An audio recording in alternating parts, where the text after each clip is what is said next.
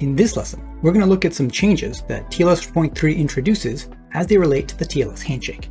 There are four significant changes that we're going to discuss, and just like in the last lesson, I'm going to give you context for each of them. So with that in mind, I want to start by showing you the TLS 1.2 and prior handshake. So here is the TLS 1.2 and prior handshake. Back in Module 6 of the Practical TLS course, we uncovered all the details about this handshake. We explained what each of these messages were and the contents that they included. If any of this is unfamiliar to you, I'd recommend going back to Module 6 and reviewing this lesson. With that in mind, what I want to focus on in this lesson is how many round trips this handshake actually takes. First, the client sends its client hello, then the server sends these three messages, and this concludes the first round trip. Then the client sends these three messages, and then the server responds with these messages, which concludes the second round trip. It's said that the TLS 1.2 handshake requires two round trips to complete. This is referred to as a two round trip time handshake, also abbreviated as 2RTT. With that in mind, let me show you the TLS 1.3 handshake so you can see how it compares. So first again, here on the left, we're going to have the TLS 1.2 handshake. Notice four messages and the handshake completes. In this illustration, anything that shows up below the purple line and in the gray glowy is meant to indicate that that record is encrypted. So with that in mind, let's show you the first message of the TLS 1.3 handshake. You'll notice it starts off very similar to the TLS 1.2 handshake with a client hello. And from there, pretty much everything else is different. The server is then going to send a server hello, followed by four encrypted records. Following that, the server is actually eligible to start sending encrypted application data right away. You're not going to see this very often because typically we use TLS for HTTPS communication and the client still hasn't made a request for a particular web page, so it's not like at this point that the server knows what web page is being requested. But the option does exist that the server can start sending encrypted application data right here. In any case, the client would then send the client finished record, and again, this is also set encrypted. Notice it's below the purple line. And finally, the client can start sending application data at this point. In total, the TLS 1.3 handshake only requires a single round trip. Notice application data can be sent after this first round trip completes. Now also notice that most of the TLS 1.3 handshake is encrypted. We'll talk more about this in a moment. For now, I want to continue talking about the round trips. If you're anything like me, when you first saw this, you saw four messages for a TLS 1.2 for two round trips, and three messages for one round trip and you thought, wait a minute, that doesn't really add up. Well, it makes more sense if you look at the handshake within the context of everything else that happens when you're loading a web page. So let's go ahead and do that. Here you have a typical series of events which occurs for you to load a web page. First thing that happens is a DNS request where you resolve a domain name to an IP address. Then you initiate a TCP three-way handshake to that web server to start a TCP session. So this would be your SYN, your SYN ACK, and then your ACK. Once you've done that, you can start your TLS session. And notice here we have four messages and it's a TLS 1.2 handshake. And finally, after that, you can make your first request asking for a particular web page from which the server will then provide that web page. In web performance testing, this is referred to as the time to first byte. And as you can see in this illustration, for a TLS 1.2 handshake, it requires at least five round trips before you get that first byte of actual data. Now, this is actually pretty important, so I want to actually count out each of the round trips so you fully understand what I'm talking about. The first round trip happens with this DNS exchange, where the DNS request and the DNS response is made. The second round trip happens right here in the first part of the TCP handshake. Now, for this third request, both of these items are going to be sent by the client, which means there really isn't any delay that happens in between them. They're literally sent nanoseconds apart. So the third round trip is right here. It includes the rest of the TCP three-way handshake and the first part of the TLS 1.2 handshake. Finally, the fourth round trip is right here, and then the fifth round trip is right here, and this is where we get five round trips for a typical web browsing session when using TLS 1.2. So now let me show you what it looks like if we are using TLS 1.3. So again, TLS 1.3 is three messages, and from there, you would then ask for your HTTP web page. And if we count out all the round trips, we would get the first right here for DNS, the second right here for the first part of TCP, the third right here for the last part of TCP and the first part of the TLS 1.3 handshake, and finally again, since both of these are sent by the client, there is no delay in between, they're literally sent nanoseconds apart, and so the final fourth round trip happens right here. This is where they get that the time to first byte in TLS 1.3 is going to be 4. And this is how they can count that the TLS 1.2 handshake only requires a single round trip. Notice it dropped the time to first byte from 5 round trips in TLS 1.2 and prior to 4. So as you can see, almost immediately after deciding to use TLS 1.3, you just experienced a 20% increase in the speed or decrease in the time to first byte, which is a great win for web performance testing. So that takes care of talking about TLS 1.3 and the one round trip handshake. And again, the main difference is that TLS 1.2 and prior required two round trips before a handshake could complete, and TLS 1.3 can do it in one. But can we do any better? Well, yes we can. TLS 1.3 also allows a way to do a handshake that only requires zero round trips. And the way that works is the client can actually send encrypted application data with the client hello in the first message to a TLS web server. This reduces how much time before the first byte is sent to immediately, hence zero round trips. Now, doing this is called sending early data, and that's meant in the context of sending data earlier than you would send your normal application data. Now, I do need to point out that sending early data does have some security implications. We're going to cover this in more details in a dedicated lesson on this early data zero round trip handshake. For now, just know that this is a feature and that all TLS 1.3 handshakes reduce the round trip time required from 2 to 1. Which now brings us to the second major idea that I want to talk about in the TLS 1.3 handshake. And this is actually something we pointed out a moment ago. Notice that most of the TLS 1.3 handshake is actually sent encrypted. In fact, the only things that are not encrypted is the client hello and the server hello. Every other record in the TLS 1.3 is sent encrypted on the wire. This paves the way for cool new features like ESNI and ECH, which stands for Encrypted SNI or Server Name Indication, and Encrypted Client Hello. Both of these are only possible in a TLS 1.3 handshake, so let's talk about it. Recall that SNI was when a client includes a server name extension in the client hello. And inside that extension, the client is providing the domain name that the client is requesting.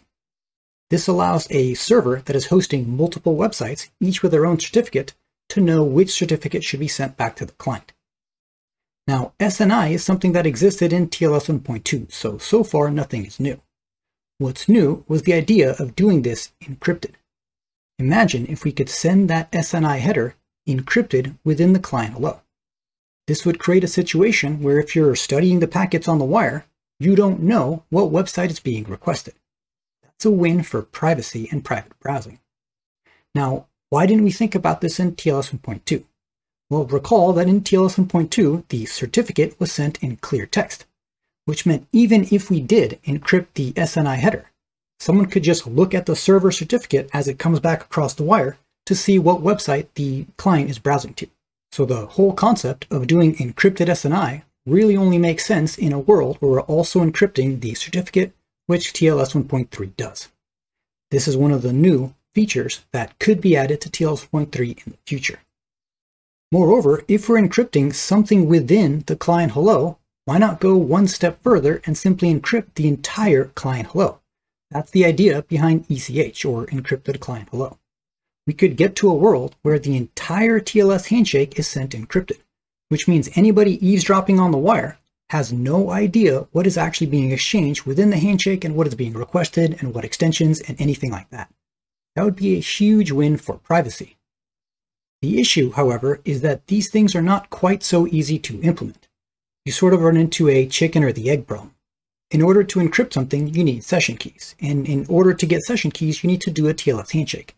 So you run into this problem with how do we have session keys at the beginning before we actually do a TLS handshake. Now, some creative ideas have been thrown out, something like maybe we can hide some asymmetric keys in DNS such that we can use DNS to initiate a key exchange and use those to encrypt the client hello or the SNI header, but nothing has been formalized as a standard. Neither of these have actually made it into TLS 1.3. The main idea of bringing them up in this lesson is simply to tell you they are only features that are possible in a TLS 1.3 handshake. Likely, they'll figure out some way of implementing these in the future, but at the moment, I just wanted to introduce to you to the idea, not necessarily tell you how they work, since at this point that hasn't actually been decided. One way or another, this is the second item that I wanted to discuss insofar as changes the TLS 1.3 related to the handshake, which now brings us to the third, which is somewhat related. The third idea that I want to discuss with the TLS 1.3 handshake has to do with mutual authentication. Recall that in TLS, typically only the server is authenticated, which means only the server is sending a certificate. But there is a way to do a TLS handshake such that both the client and the server are both sending a certificate. That's what's called mutual authentication. This existed in TLS 1.2, and it also exists in TLS 1.3. In order to do mutual authentication in TLS 1.3, the server is also going to send a certificate request record along with the server hello, and that's going to prompt the client to send their certificate along with a certificate verify record in their next message. The difference with TLS 1.3 is notice the client certificate is always sent encrypted. This didn't exist in TLS 1.2. In TLS 1.2, the client certificate was sent clear text in a mutual authentication handshake. Now, you might be thinking to yourself, wait a minute, a certificate is meant to be public domain. It's meant to be something you can share freely, which means it's fine to send in clear text. And that's mostly true. But compare that to a server certificate. Remember that a server certificate belongs to a website that is meant to be accessed by the entire world, whereas a client certificate typically identifies a individual user or potentially an individual device, which means a client certificate is typically going to include information that is somewhat more sensitive.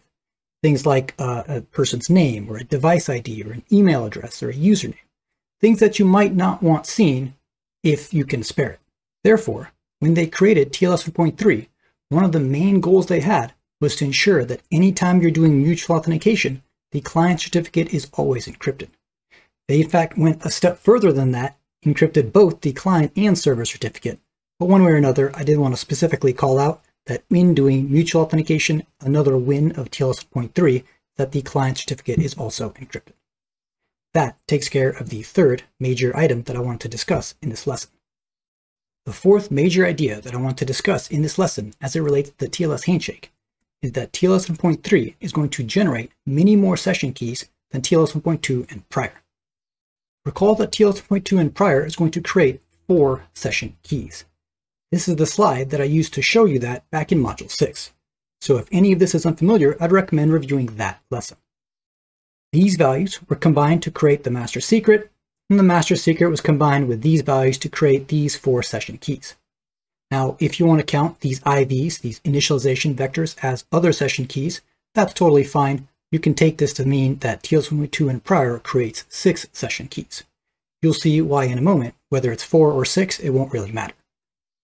Either way, with TLS 1.2, here are the four main session keys that are created a client encryption key, a client HMAC key, which is used to secure everything being sent from the client to the server, and then a server encryption and server HMAC key, which is used to secure everything sent from the server back to the client.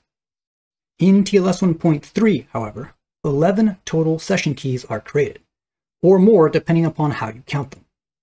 TLS 1.3 creates a new set of session keys for each potential use of that key meaning you'll have some set of keys that are going to be used to encrypt portions of the handshake, a different set of keys that are going to be used to encrypt application data, yet another set of keys in case we're doing early data and a zero round trip handshake, and yet another set of keys simply to save in case we're going to do session resumption at some point in the future.